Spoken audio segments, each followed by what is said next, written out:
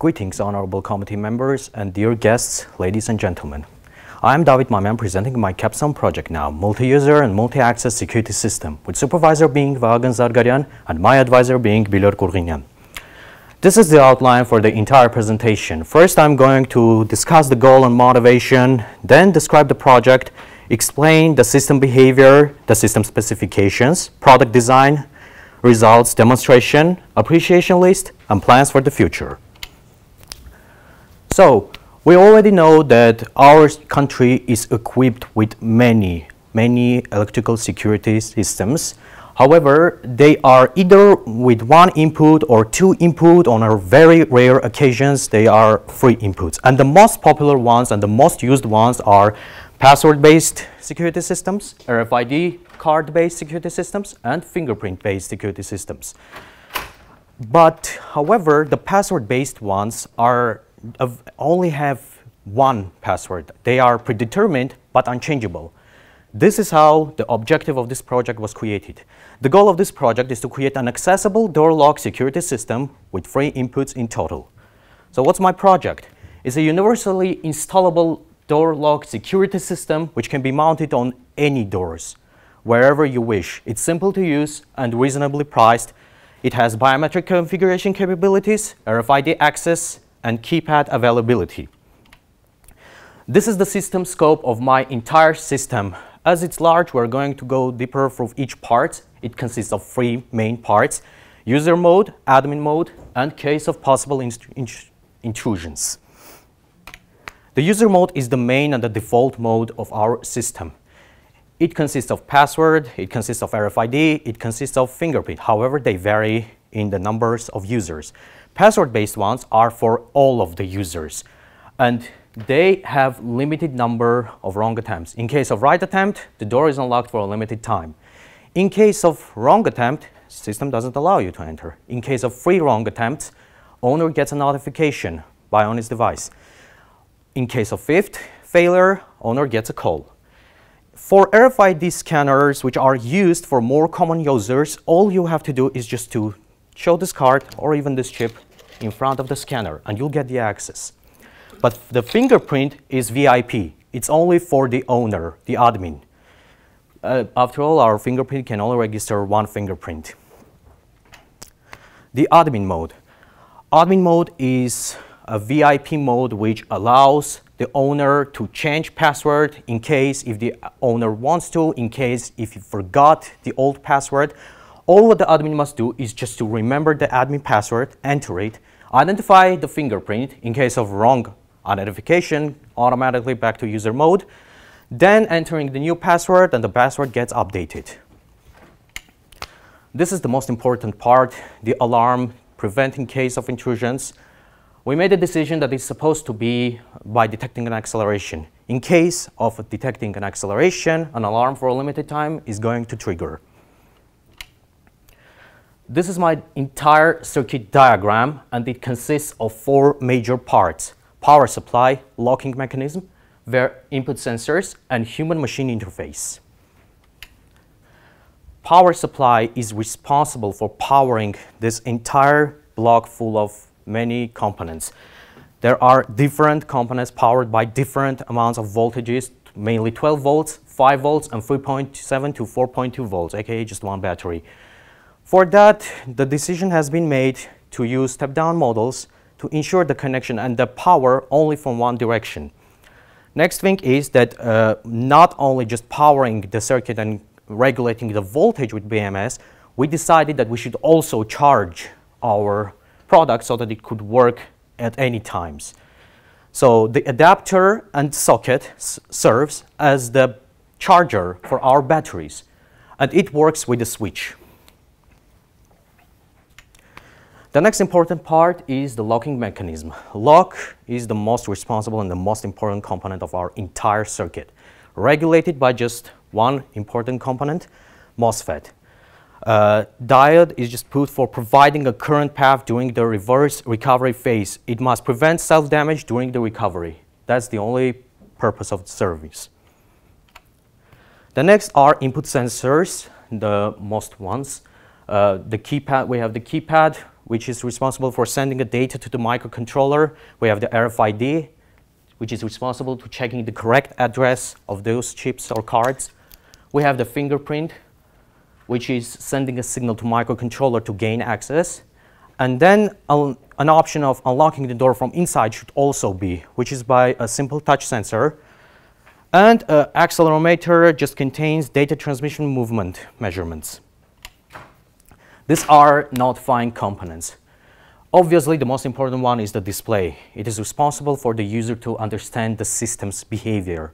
Buzzer is for alarm, and the GSM module is responsible for notifying the owner on his device in, in, in different cases mentioned before. These are the component lists required for our project. Uh, we need a microcontroller to program it, the ESP32.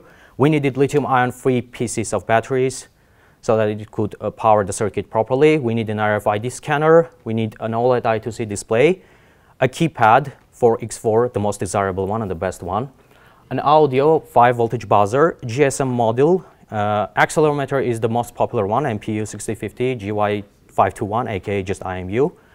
Fingerprint scanner is a rare component. It's not an ordinary Arduino fingerprint scanner. It's a printed circuit board ordered from abroad, uh, which has a relay, which has power, and which has this fingerprint, which is printed by ABS. By simply touching this fingerprint, the relay changes its place, the switch. We have the electromagnetic door lock responsible for gaining or not or denying the access. Then we have adapter and socket for charging. This is the product design. My product consists most importantly of two separate blocks, the outer part and the inner part. The outer part is responsible for sensors and the display, while the inner part is responsible for the rest of the circuit and the holes required for connectors, even uh, USB for microcontroller, microcontroller in case if you want to change something, the hole for the socket, and that's. Models are provided by SOLIDWORKS CAD software. These are another important product designs for the lock and the batteries. So in this box are the batteries. They are being controlled by switch, which is uh, put here, and the lock, which is attached here. And another very important component is this little thing called door holder. It is responsible for just being attached to a door and ensuring that the lock is in its correct place and no one could ever open a door without doing the necessary steps. Models are provided by SOLIDWORKS again. These are the drawings of uh, my product. Uh, these are the dimensions required for our blocks so that uh, the user would understand how large or how small they are the hole for the keypad, the holes for the display, and also the holes for the connections, and attachments as well. We have the drawing of the inside uh, block, which is nearly the same reason. The only differences uh, that the only differences are the dimensions, as the as you can see from real life. The inner block is way larger than the in front block. It's responsible for keeping all the circuits inside. The drawings for our box case, from here you can see the box and case separately, but in the drawing you can see the box with their dimensions, the case alongside the hole for the switch, and the door holder. So these are the results of my work, a working 3D printed prototype and the working circuit assembled on two split perf boards attached to the models, which will also secure the connection. It will not allow any others to come and ruin something or change some connections by digging into the circuit. And here is the video demonstration of my project. Let me turn it on. So here I input the correct password.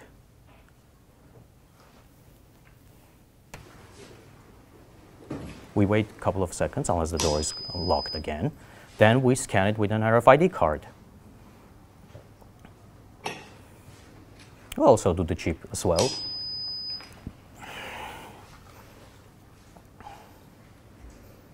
Next is the fingerprint for admin only.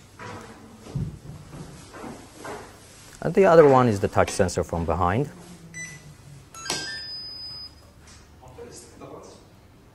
And then I'm inputting a password for the admin mode, which will allow me to enter there. Then requires the scan. Whenever it scans, I'm only required to enter the new password or just any password which will be registered as a new password. After entering it, the password gets registered.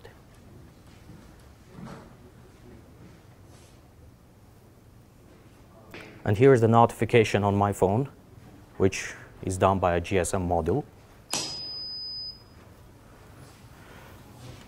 So right now I'm inputting wrong passwords on purpose just to demonstrate you the case of multiple failed wrong attempts.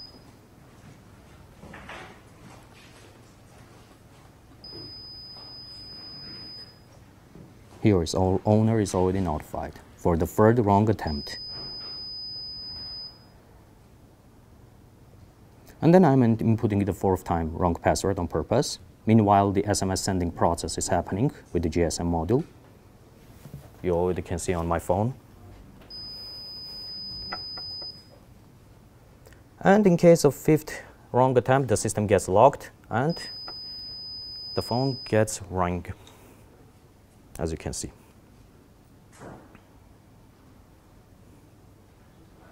Now I'm confirming that not only the circuit is powered by batteries, it is also charged. Oh, no, sorry, wrong one. I'm detecting an acceleration by just purpose hitting on a table on purpose so that the alarm would be on for 10 seconds.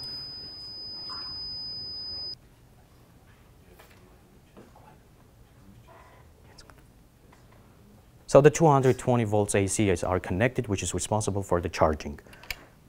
Sorry, two pages. Now, appreciation, appreciation list time. I would like to thank my friend my supervisor and my colleague, Vagn Zargaryan. I would like to thank my advisor and lecturer, Bilor Kurginyan.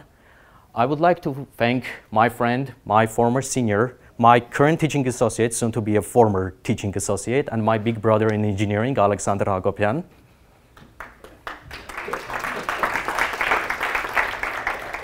I would like to thank everyone who supported me during these rough times, my friends, my family, I love you. I love you all 3000. And the plans for the future work. My project is still in the phase of a prototype, so it means it's not for sale yet, but I wanted to make it for sale. For doing so, we need to advance it more further, create more features for the notification system, working on improving the user and the device relationship, replacing SIM cards such as with uh, prototypes such as eSIM, aka embedded SIM. The new phones are already working like that. Converting perf board-based circuits to printed circuit boards, aka PCB. We already had a designed PCB, but it was too late for us to order. That's caused a lot of problems. Convert the 3D printed prototype to aluminum blocks. Of course, nobody would buy a 3D printed model and dig a big hole like this for just connecting both the sides. Add a waterproof connector for all the outputs, solves the connector issue. Add a kill hole in the device for emergency situations. Battery has a limit in working, and in case of absence in electricity, it can work 5 to 10 hours. If suddenly uh, people are left with no choice, at least they could insert a key for that. Insert the battery sockets on the printed circuit boards and remove the battery box. Yes, if we are making a PCB, we definitely need to integrate the socket in the PCB. Then add the camera for the owner to see who is in front of the door. If we get notified, we still don't know who is in front of the door. This is how we find out. Thank you very much. I love you all 3000.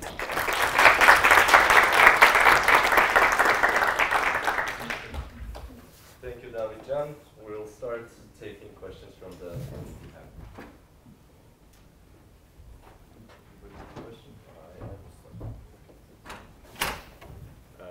Just curious why three lithium ion big batteries?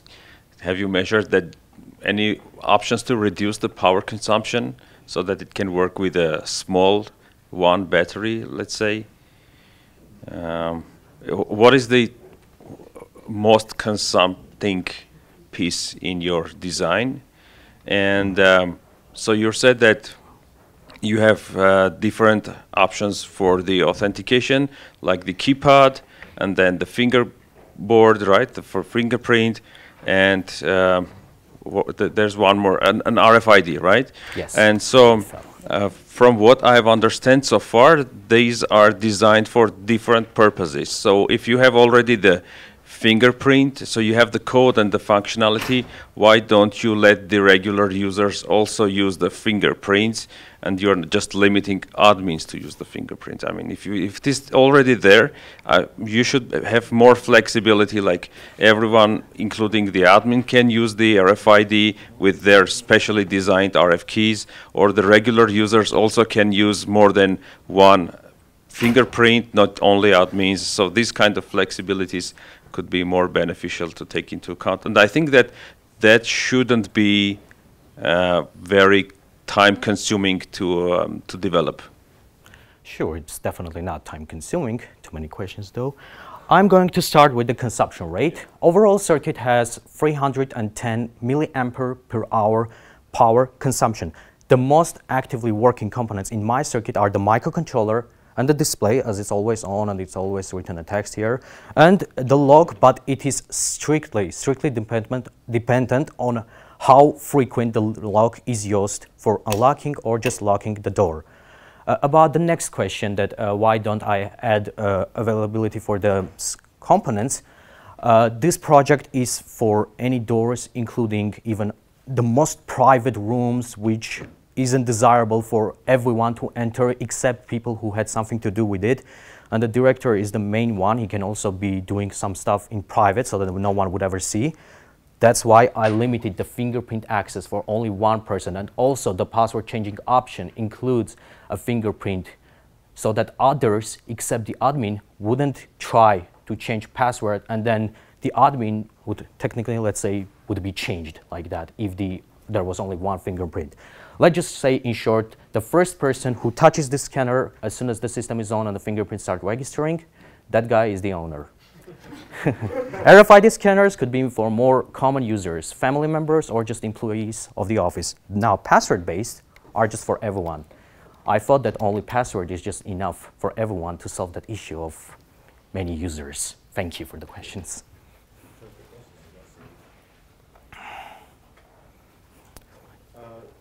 Very well done. Thank you. And especially the quality of the prototype, everything is working. We have seen, uh, but I haven't seen anything about uh, the encrypting the password or the fingerprint or the uh, other information, identification information. Uh, this represents a big risk if someone the uh, device is tampered um, on the owner's absence it can be uh, opened and uh, you know exploited when the owner is not informed about it.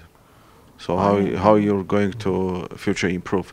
I've seen the improvement plans, but haven't seen the uh, information security or, or cyber security bit of it. Sure, I've. Right. I still thought that my system is safe, but not the safest, and I will make sure to improve that part of the safety as well, uh, especially when it comes to the admin recognition, because it seems like even biometric security systems can be yeah. like copied by somebody else, like stolen. This point I will take into very deep consideration. Okay. Thank you.